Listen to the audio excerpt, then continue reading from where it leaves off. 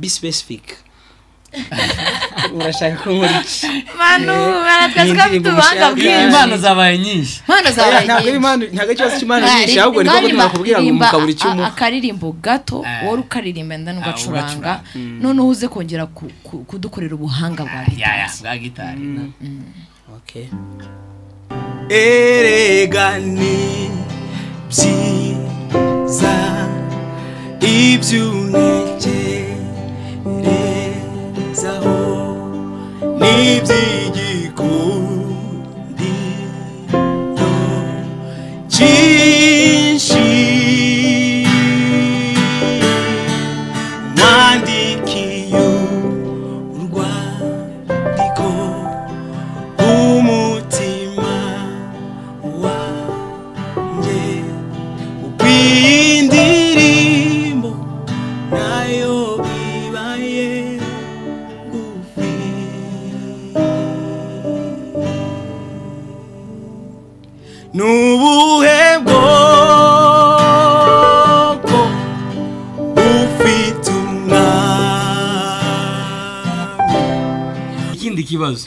Wacuranze ni bebe kandi usarirega ntubwire ngo aho wavuye abantu bose bazi igiswahili gifite agacalenji gatoya. Iriya ni bebe windirimbira mu kinyarwanda. Ukayisobanura wawiririmba sinzi ukuntu uri buririmbe ngo tarende tarende. Wamukaririmba mu kinyarwanda ukaririmbe turiya tugambo twose waririmbye. Wamutujana mu kinyarwanda neza usa nk'ukamara. Twara ntwara Hey, warigenda se ndabizi ni bebe kuntwara cyangwa se mpe oh umpeke umpeke umwami umpeke uneteshe umpeke o yesu umpeke nterura umpeke mu maboko yawe ndatuza amahoro. Mano wize amashuri angahe? Kuri icyo kibazo wize amashuri angahe? Kuko uraza nkaho guhimba. Ari ibintu ari bijya kuba akantu kure kawe Quetu Talanta TV, home of talents. mwiriwe mwese abadukurikiye cyangwa se mwaramutse bitewe n'aho muherereye mu mpande enye z'isi north west east south uh, tubahaye ikaze kuri kwetu talanta show. Uyu uri kuvuga ni nadine? Na charles. Mwaramutse. Uwo mwaramutse neza. Wabyutse amahoro. Yewe ni amahoro nakunze uburyo nabyutse. Kandi uko naryamye nabyukanye ibitekerezo byinshi kurushaho.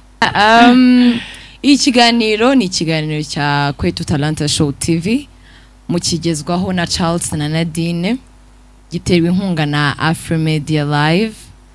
Hanyuma uh, ni ikiganiro kigamije kuzamura abanyempano like abahanzi baririmba gospel music.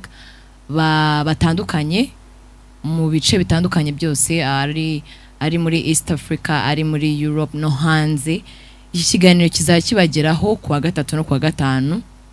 And don't forget to subscribe ku batarabikora n'ababikoze mutange comments kugira ngo tumenye ibyo mwakunze ibyo mutakunze cyangwa se n'abatumirwa b'ubutaha twabazanira Ah, kandi ikindi twabibutsaho kurusha ibindi ni uko iterambere rya buri muntu wese wese ufite impano urufunguzo rukuru cyane ni bidi.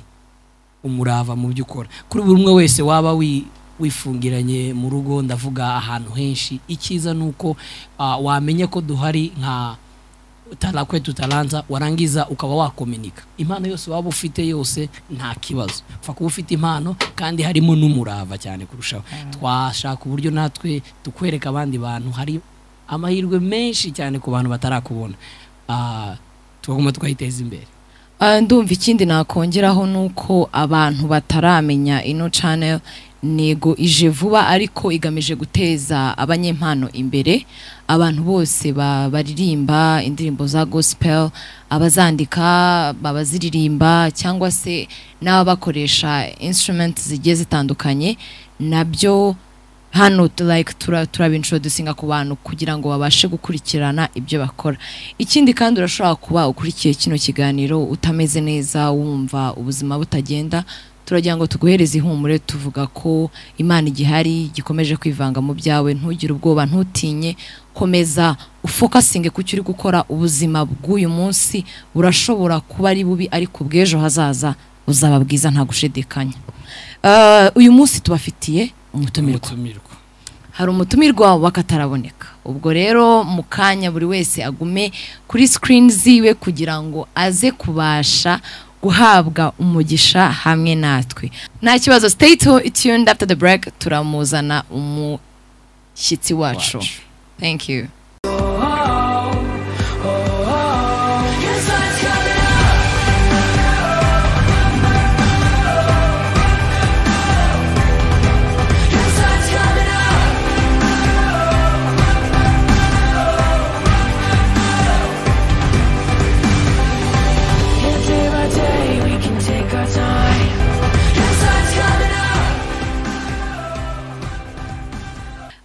Twongeye kubaha ikaze. Turagarutse tugarutse kubazanira umutumirwa twari twabasezeranyije.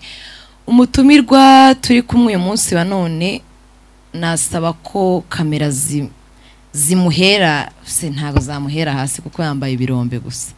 Wambaye neza vama wambaye igisirimu wambaye imyenda isobanutse. Mubwira ariko ngo bimubere isomo. Ntukaze uri fana wambaye neza cyane. Murakoze cyane turabashimiye. Imbere yanjye ndashobora kuba mbona umukanishi cyangwa se umuntu wenda waba ukora wenda nk'imigati cyangwa ari uri- harya babita amakanga? Amakanga abatwazi Eh, ibintu eh. n'abantu. abatwaza ibintu n'abantu. Ariko kugira ngo mbashe kumenya uwo uri we ntangiye kukubaza uri umuntu ki? Icyo ni ikibazo cyanjye cya mbere nkubaza uri umuntu ki mbese mpereza introduction of yourself. Oh, yagize ngo muri abo bantu bose uvuze nshobora kuba ndi muri bo. Nkubajije ntabwo ndi muri abo bantu. Oya ni ikibazo cya mbere nkubajije Eh, uri umuntu ki ndi umuntu ki? Mm. Oh, amazina yanjye. Cyangwa uwo ndi kwivuga justement njye ntabwo nkuzi n'abawukurikiye Oh, ntabwo bakuzi. Ah, matsi. umucuranzi. Kuko wari umaze kuvuga izo ngero z'abo bantu hanyuma uravuga ati uri umuntu ki? Nari nzi kuba ndi umuntu ki? Ntakiri utavuga ko ndi umucuranzi. Ariko ah, abadukurikiye kuri kwetu talanta nitwa Emmanuel Wokovu nzi ku izina rya Manu Wokovu ndi umunyamuziki nkora umuziki nk'umwuga niyeguriye umuziki ndi imbata y'umuziki Ah, umuziki ni bwo buzima bwanjye ndi umuproducteur nkora akazi nyine ko gusorera abaririmbyi indirimbo hanyuma nkaba ndirimba mu rusengero cyangwa se indirimbo zihimbaza imana ya ni mutwa music. Wow. Okay. Into the- and ukoze introduction nziza cyane. Um, none se manu ni kuvuze ko witwa? Mm. okay. Manu ni umugabo arubatse ni umuhungu ni umupfakazi. Bimeze biti ni ikibazo. Umupfakari. Oya bavuga both umugore n'umugabo justement n'abapfakazi mwitindaho kaziga kaziga kazi ni Ngo ni iy'abagore se. ni iy'abagore oya justement ndi kubaza tu. Mm. oya ndacyari ingaragu uracyari ingaragu ufite uri muri copinage nta mufiyanse ufite mbese bisesengura. uri vakanti uri Niko tu simple niko eh, simple nyine abantu benshi simple ubwo ni ukuvuga ko uri uri single and serious. Eh, and- and serious cyangwa se uri Eh. single and searching. Single and serious. Murabe mubyumva inkumi zidukurikiye. Ngo ni single and serious. ubwo ngubwo serious ni getting married Eh. Nari mufite ariko ntitwumvikana tubona bitagenda neza tu- turabireka kugira ngo tubeshyanye turi abantu b'imana. Eh. Ntabwo rero mu rukundo habamo ibintu byo kubeshya Oh, beshyanye oya turabyihorera si we yonyine iri mu nyanja Oya. tugira ikibazo. Ngo biki cyaravuze ngo oya iki? si we yonyine iri mu nyanja uzoguma. Uravuze ngo si byo bishimbo biri muri gidari zonyine? Oya nta kibazo. Reka tugaruke ku kiganiro. Okay none se manu mu buzima busanzwe uvuze ko uri umuririmbyi Mm. ukaba umuproducer. Mm. nubwo wenda ntaririmba cyane ariko ibyo ni ibintu bibiri bitandukanye. Umuririmbyi ni umuproducer. Mm. Na- ni utuzi tubiri dutandukanye. None se uh, beyond you y'utwo tuzi tundi ushobora kuba ukora akandi kazi. Gasanzwe wenda oya akazi nkora nyine nako mu muziki. Nta muziki ndi gusa. mwarimu ndigisha umuziki. Okay. Hanyuma nkanawukora muri studio Mm. nkanaririmba nyine nkabikora uko. None se watangiye umuziki ryari? Mu mwaka w'ibihumbi bibiri na cumi na rimwe. Ubwo natangiye kuririmba. Okay manu nu- wavuze ngo uracyari umuhungu. Ufite ababyeyi bombi? Mfite mama. Data yapfuye muri 2016 bibiri na cumi na gatandatu. Okay. Um, ufite abavukanyi? Yego. Ufite abavukanyi bangahe? Mfite abavukanye. Twabyutse turi cumi na batatu. Mhm. ubwo rero dusigaye turi icyenda. Musigaye muri icyenda okay ubu bose ni bakuru? Eh, bamwe ba- barubatse barabyara. Mama afite abuzukuruza. Abuzukuru. Abuzukuru. Kinyarwanda. Ndumva mwarakuze. Ah, none se mu mu buzima bwawe busanzwe. Mm. manu turetse iby'umuziki. Ni ikihe kintu akunda gukora? Turetse umuziki rero sinzi ko hari ikindi ko nta kindi nkora byuka mu gitondo njya kwigisha hari ushobora nta ntari gukora umuziki mu rugero rw'ikindi kintu wenda oh, eh, yeah. leisure yawe. Nakwirukanka nareba filime iyo yirazwi ni ukurya no kuryama. Eh, ukunda kurya? nkunda kurya.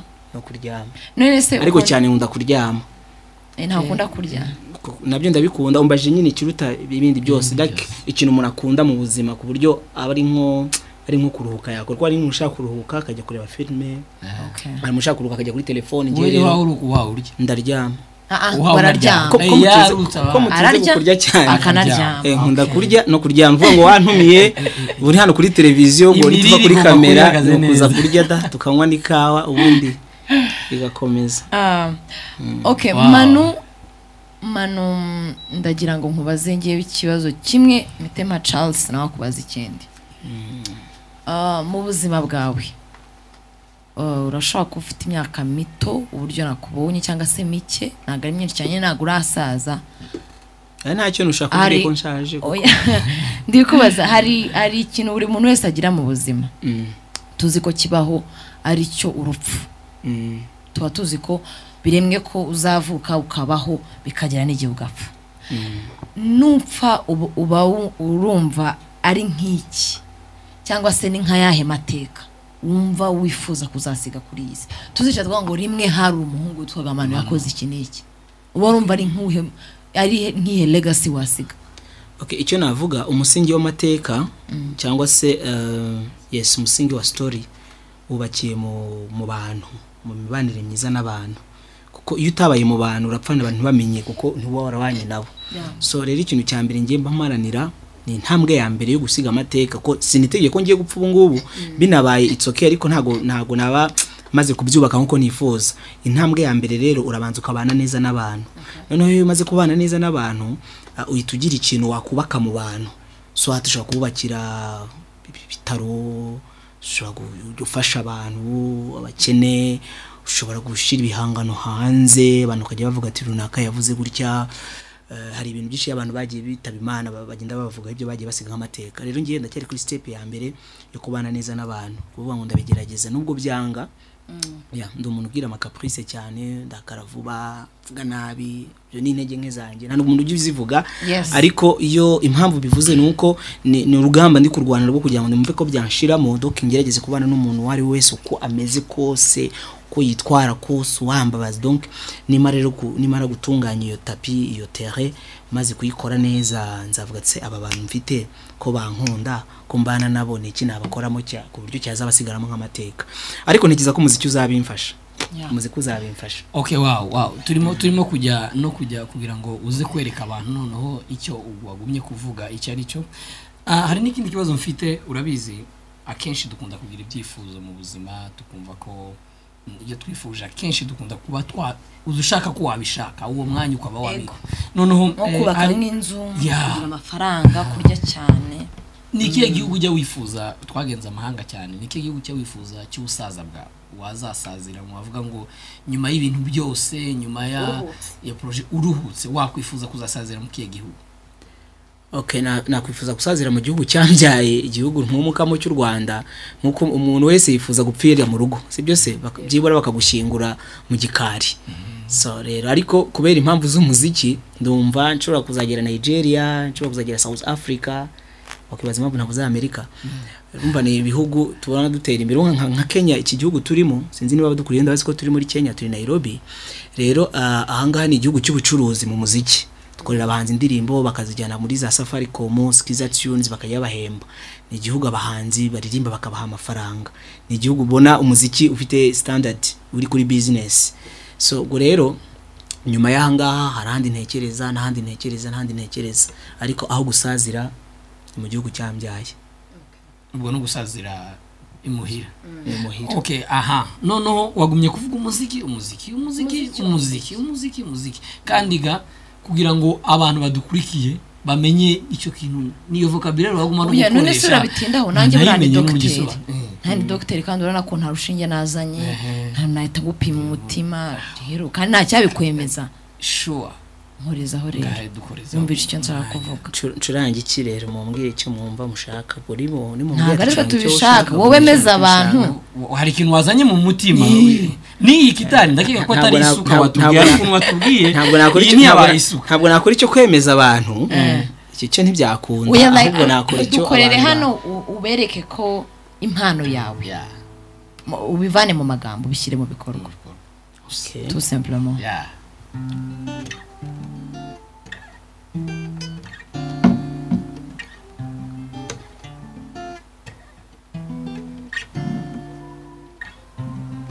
by'ukuri sinzi ngo niba naririmba niba na nakora iki mumbwire. Ncurange instrumental isanzwe ngira indirimbo ncuranga nyiririmba ncurange instrumental gusa kuri gitari nkora akantu gasanzwe munumva be specific. Murashaka ko nkora iki manu baratwaza ko afite ubuhanga bwinshi impano zabaye nyinshi impano zabaye nyinshi ntabwo ikibazo cy'impano nyinshi ahubwo niko rimba- gutuma kubwira ngo mukabura umuha akaririmbo gato wowe ukaririmba ndani Ah, ugacuranga ugacuranga. noneho uze kongera ku- ku- kudukorera ubuhanga bwa gitari bwa gitari okay G.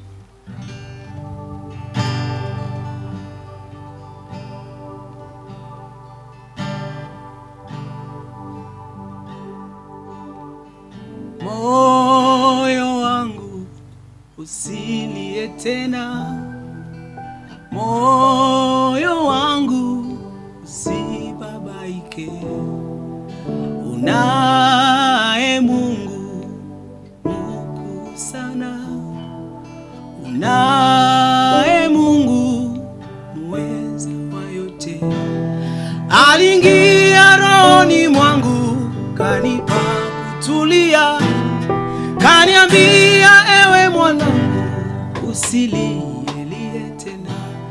aliingia rohoni mwangu kanipa kutulia. Kaniambia ewe mwanangu usilielie tena. Ninajua shida zako mimi nitazitatua. Bila yesu mimi ni mtu bure. Ninajua shida zako kweli nitazitatua bila Yesu mimi ni mtu bure. Ere gani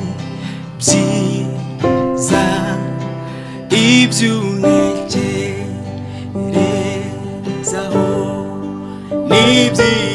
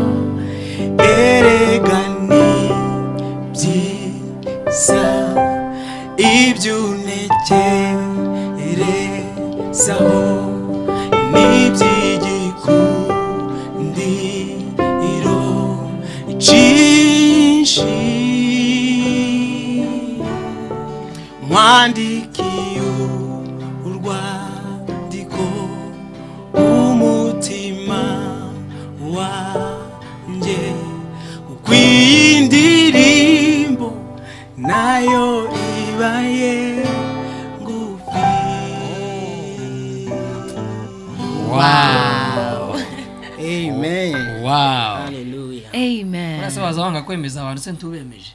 Shara bemeje oya wari wagumye kuba kuzanga ariko ubikoze indirect. I- ibyo nimwe muri kuvuga byo kwemeza. Ndubizi. Ya, umuziki ni ubuzima umuziki ni mwiza. Nawe ni mwiza. Ko mwari mutangiye kuba umva nawe twari twu rya jwi ryanjye ryari so nahisemo neza kuzamuka ufite ijwi ryiza ufite ijwi ryiza. imitima y'abantu. Ah. gusa uraririmba. Amen. Kandi uraririmba bikurimo. Hari umuntu uririmba ukabona gusa ari- kuririmba kubyikiza ariko bikurimo. Kandi ufite iyo mpano isi reka izumve izumve ijwi ry'imana biciye muri wowe. Amen. Gu- gukomera gukomera k'umuntu ngiye ko mbyita gukomera k'umuntu ushobora kuba wifuza kuba famous. Urashobora kuba famous all over the world ugira amafaranga ujya uhembwa millions and billions ariko nta mitima wubaka. Gusa uri aho ukora amafaranga. Ariko nuririmba abantu bakagaruka bakagana inzira y'umusaraba. Ni ikintu cyinshi ni ikintu uba ukoze ah, kirutwa no kuvuga ngo wenda ura- urabikorera for, for enjoyment cyangwa gu pleasinga like abantu cyangwa for cash ibintu nk'ibyo nawe urabyumva. Uru rugendo watangije hari abantu benshi bifuza kumera nkawe hano hanze cyangwa se bifuza kuba baririmba. N'iki uba wumva wafasha? Umuntu uwo ari we wese wakugana akavuga ati ngiye manu nkunda kuririmba simbizi. Ariko ndifuza ko wamfasha. Tukajyana. Rega hari abantu bafite amajwi uvuga ati aya majwi ari unique. Uyu muntu aririmbye ibitangaza byaba. Ariko kubera ko nta muntu umuhereza motivation nta muntu umubwira ko yabishobora akitinya aga- agahera inyuma. Wowe u- tuvuze wenda turakubwiye ngo genda hariya hanze ube watanga nk'inama. Wahereza iyihe nama abantu bifuza kujya muri iyo kariye yawe? Okay navuga ibintu bibiri cyangwa se bitatu. Ikintu cya mbere navuga ko ibintu bishoboka. Ibintu byose birashoboka iyo ubigerageje. Eh, byose birashoboka. Cya mbere banza wumve ko bishoboka hanyuma bize kukunanira ariko wabigerageje. Eh, so umuntu wese unganye kandi ndashaka kwiga gucuranga ndashaka piano mpita mwereka ko bishoboka cyane rwose. Twagera hagati nkajya mubwira ariko rero ntabwo ari impano yawe. Ariko ibyo ari byo byose ibyo byose yabaje. Eh, atamubwira ko kugira ngo dukomeze dute igihe n'amafaranga. Eh, nkomeje n'iki? abantu. nkamurilizinga ariko nkabanza nkamubwira yuko bishoboka. Ikintu cya kabiri ni passion. Bikore bivane ku mutima ubikore ubihereza umwanya nk'uko njya nkubwira buri hantu nk'uko umuntu aba agomba kubyuka mu gitondo akaborosa cyangwa ukiyuhagira cyangwa ukarya katuvuge kurya. Niho n'umuziki.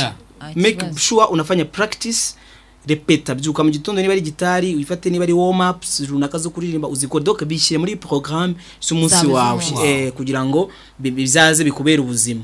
Cya y'umunsi. gatatu rero bikundi. Niwumva umuziki eh. Ngewe ngiye hano bari gucuranga. Ah. Uba wumva Ah, wahiriye naho nko mu gitaramo eh, hari nk'abahanzi bacuranga neza bitwa ba Aime Uwimana Eh. abitwa ba Lick Buntu abitwa ba James na Daniela abitwa Chance na Ben. Ah bara ni abantu njye nibaza mu rugo iwabo baba bameze bati? Aho hantu hati ngewe Aho bambaza iwabo wa chance na ben. Waba Chance na ni ho Ben nageze. Ariko kandi eh warahageze? Hameze hate rero. Oya ntabwo ngiye kukubwira amakuru uzanshaka Oh, nzabishaka. kamera gusa. yaho. ni urugo rwiza. Ariko ntekereza ko- n'umuziki nawe ubafashije mu kubaho neza ureke no kuvuga ngo umuziki. Ni ubuzima bwabo bwa buri munsi. Rero. Hari igihe wumva umwe ari guhoza umwana akamuhoza mu ndirimbo. Aho. Undi akamufata isahani n'igikombe akatangira agacuranga umwana agaceceka. Umwana wari uhaye ravugije induru mbese umuziki wabo babugize apati y'ubuzima busanzwe. Ari umugore ari umugabo. Barabyumvishe babyinjiramo indani. Tukiri kuri aho rero ngaho. narimo mvuga ni iyo ubikunze navuze ku kubihereza umwanya sinzi navuze biki navuze ibintu bitatu ariko icya nyuma nari mvuze cyari gukora cyo practice ku- kubyi- kubishyira muri muri gahunda icya mbere kumva ko bishoboka sibyo? Icya kabiri kubishyira muri gahunda z'umunsi wawe ukabibwira passion icya gatatu kubikunda rero. Ukunda abacuranzi ukunde nk'ubu hari umuntu ukunda football ushobora kumubaza aka kanya. Agahita akubwira Chelsea agahita akubwira Arsenal agahita akubwira umutoza mushya bazanye agahita akubwira umukinnyi witwaye nabi mu kibuga akubwira amakina kandi ntaragerayo n'icyo gihugu ntacyaze ariko umuntu akavuga ati njye ndi umuhanzi ndi umucuranzi ariko hari abantu bateye barya ntiwamubaza ngo mbese ni iyihe korali dufite muri muri aya matorero yacu ntiwanamubaza ntaranakora subscribe ku macano akora muzika.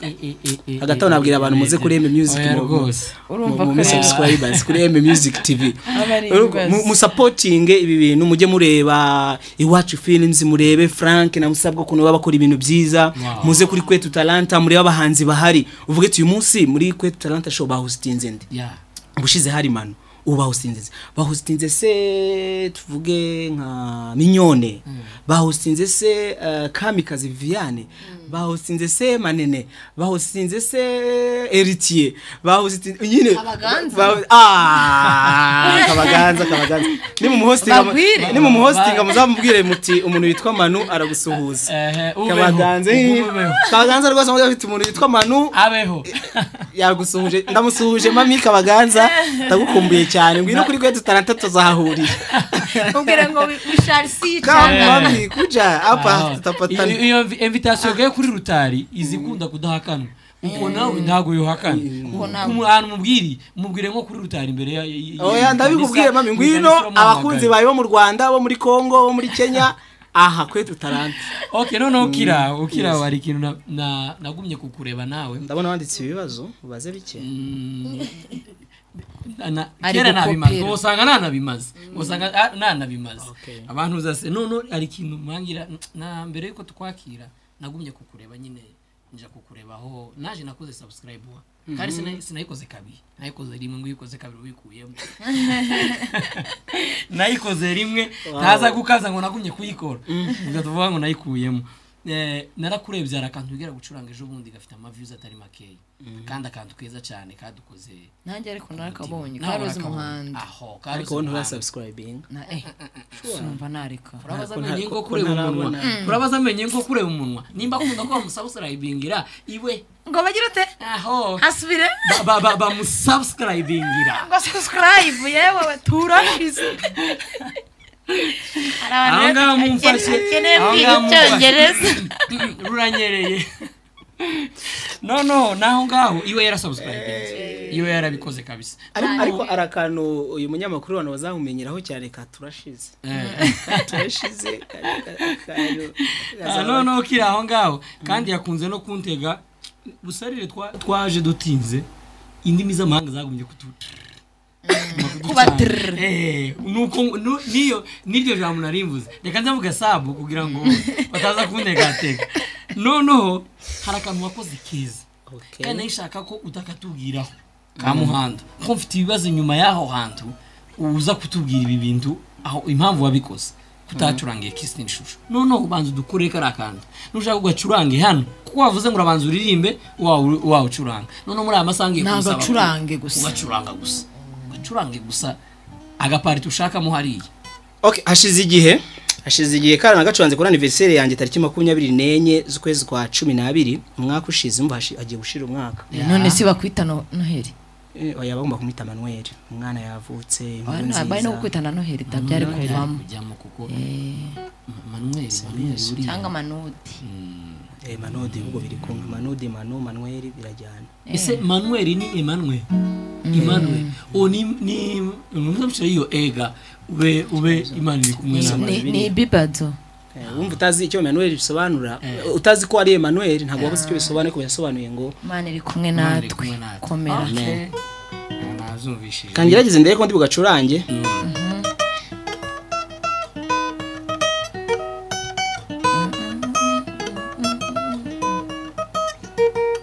Muranyihangane nk'abacuranzi nta me- nta nta mediatore mfite kandi gitari ni acoustic silid ubwo rero kwisawundinga kandi murabona ko irafata sound yo kuri camera direct hanyuma rero ubwo comment uri bwandike barakubabariye.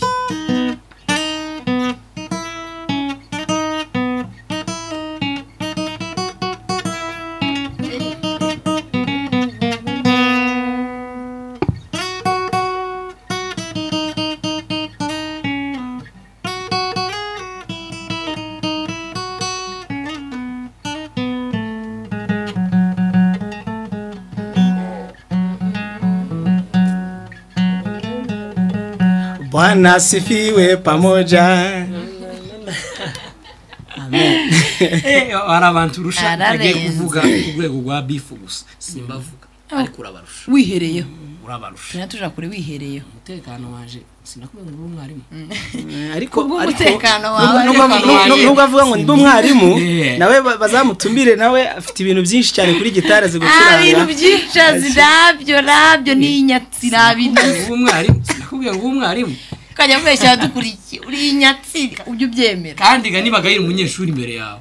Uzuna dore nakubwira ngo uri umwarimu none ibintu uza kungahira imbere y'abantu. Ni ikibazo gikomeye. Ni ikibazo. Ariko icyangombwa ni passion. Kubikunda kubi- kubi- kubikorera imyitozo. Mama Jaden komera cyane. Ni umumama dukorana imyitozo.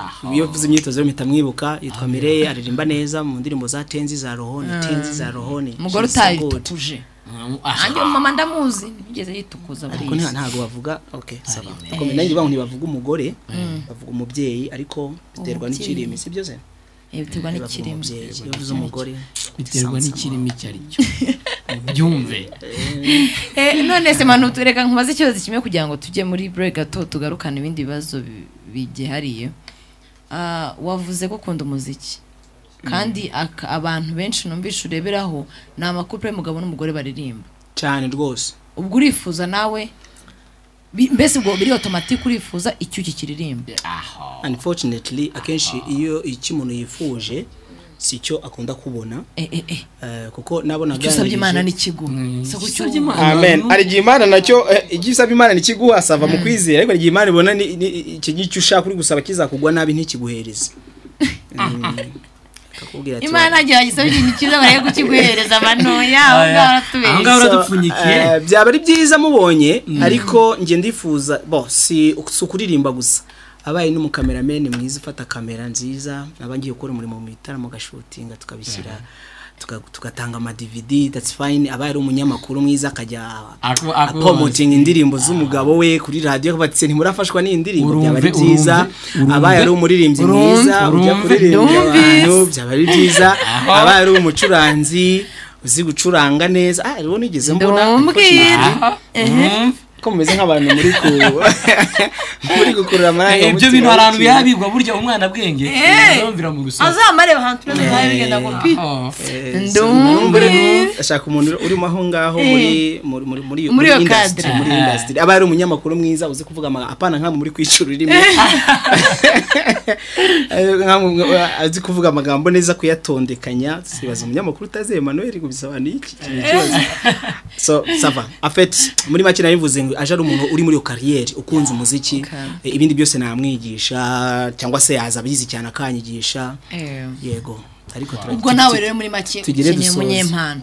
Abakobwa- bose baba- b'abakandidatire hariya hanze ndagira ngo mbamenyeshe yuko akeneye icyo umva mu- mushyiraho ngo ate- feta Eh, eh, Eh, aho ngaho bashire fete attention. Bahatire. Vuze igifaransa. Eh, surinye eh.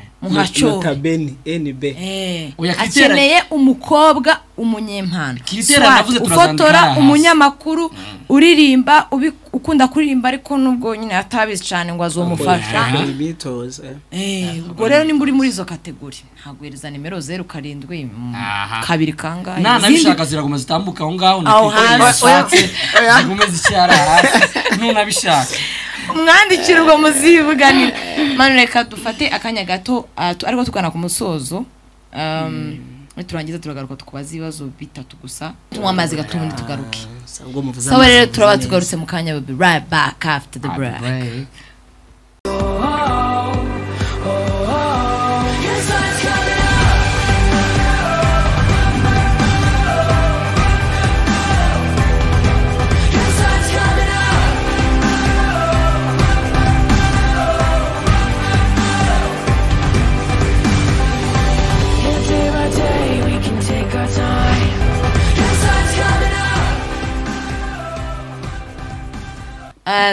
Mwongeye guhaba ikaze twongeye kuva muri wa mwanya wa break turagarutse.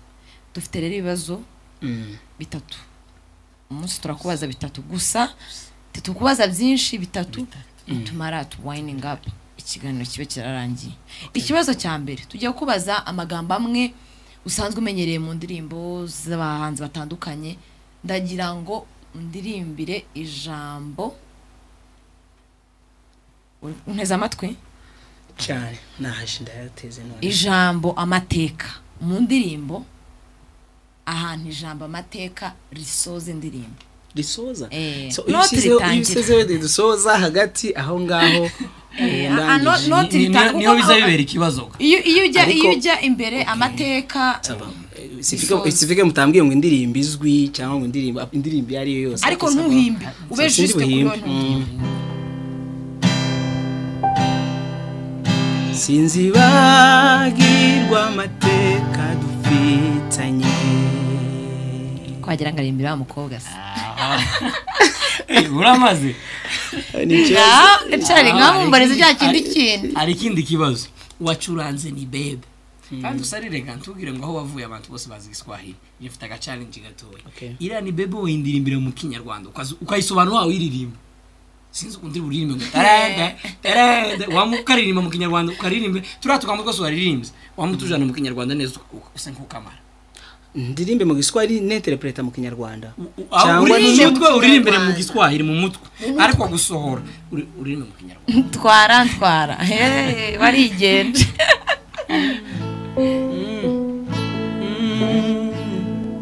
si ugutwara se buriya ra ibyo birakuranze nka ndabizi ni bebe kuntwara cyangwa se mpe oh umpeke umpeke umwami umpeke unteteshe umpeke o yesu umpeke nterura umpeke mu maboko yawe ndatuza amahoro. Mano wize amashuri angahe kuri icyo cyose wize amashuri angahe? Nize amashuri make kuko uraza nkaho guhimba ari ibintu bitakuba kure kawe. Oh c'est bon murakoze cyane kwa presiya ni ukuri njye ntabwo bintu nari kubishobora ahubwo njyewe nari kuvuga ngo nterura interura. unaga ko ari ubwenge nawe uri kukagira rero ijambo rya nyuma ngiye kukubaza. Um, ndirimbira ni bwo iri hagati.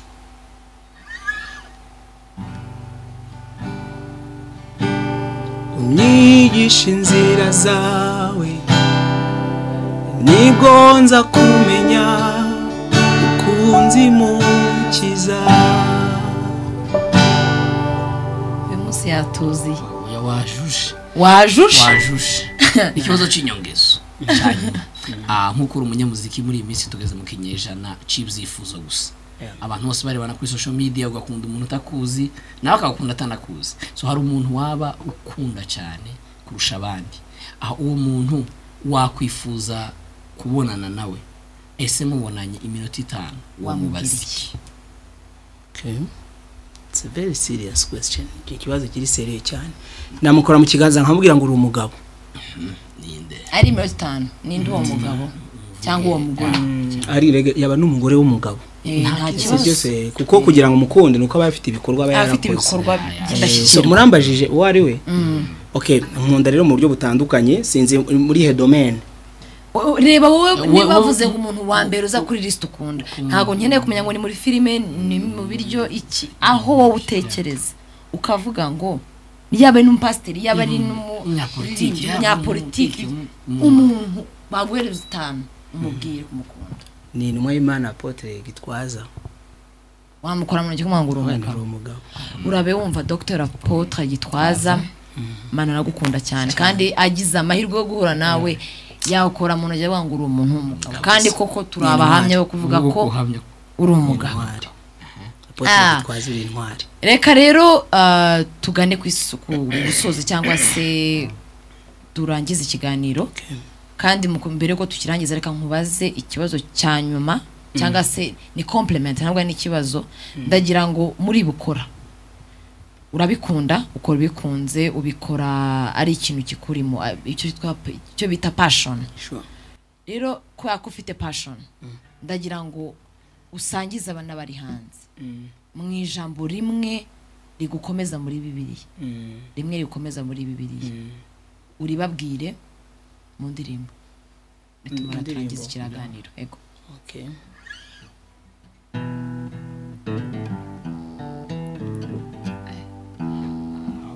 Aya. G G G G. Uko Imana yakunze abari mu isi cyane byatumye itanga umwana wayo w'ikinege kugira ngo umwizera wese atarimbuka ahubwo ahabwe ubugingo buhoraho nuhura n'ibibazo izere uwo mwana arashoboye. Ababyeyi bakwanze izere uwo mwana arashoboye. Ubusinzi burakunaniye izere uwo mwana arashoboye. Uri imbata y'ubusambanyi izere uwo mwana arashoboye. Ibigeragezo byarakugose izere uwo mwana arashoboye. Urahangayitse mu buzima izere uwo mwana arashoboye. Twaramwizeye nawe izere uwo mwana arashoboye. Yitwa kirisito ni umukiza izere uwo mwana arashoboye. Niyo nabihimbiraga ahangaha ushobora kuyikoramo indirimbo yawe ndabikwemereye. N'undi mana afite impano impano zimwe zigiye zitandukanye. Efurene nagafashe njyewe. Mpano turagushimiye. Turagushimiye kuba watwitabye. Turagushimiye kuba ubutumire bwacu wabuhaye agaciro ukagera hano.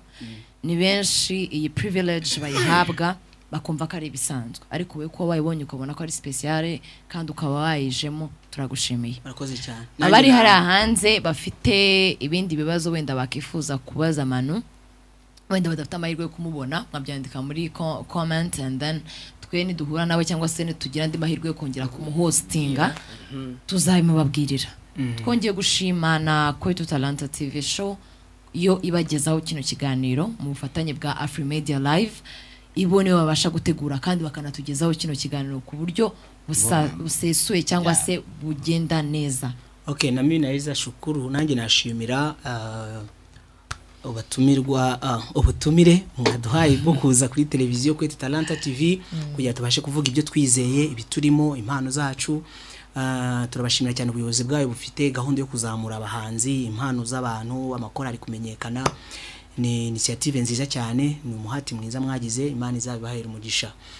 Turashimira abankurikiye ah, abankunze n'abazankunda n'abankunze kuri M Music TV mushobora kuma subscribe murabaza kubona handitse ngo Manu Pro? Aho ngaho tuzajya dushyira indirimbo zitandukanye n'amakava hanyuma ndashimira cyane cyane cyane cyane cyane cyane cyane cyane cyane cyane cyane ah, mwebwe Mwe mwambajije ibibazo bitarimo gusesere bitarimo gusesereza cyangwa se bitarimo ibindi bintu bitandukanye kandi ndashimira producer witwa Maxwell eh, ni inshuti yanjye ni umuvandimwe ibi byinshi yankora abimfashamo studio yitwa kwetu ta, uh, Tawara Records Tawara Records abahanzi mufite indirimbo please neza Maxwell anaweza fanya hiyo kazi vizuri sana. Eh, so imani guha umugisha murakoze cyane mama Jaden imani guha umugisha papa Jaden imani guha umugisha Bonke imani guha umugisha Kibonke. Uh, n'abandi bantu bose duhurira muri industry mu muziki. Imani guha umugisha cyane cyane turabakunda. Wow wow. Ah, imani guha umugisha umerekeze tujye mujye tujye gusangira ikawa.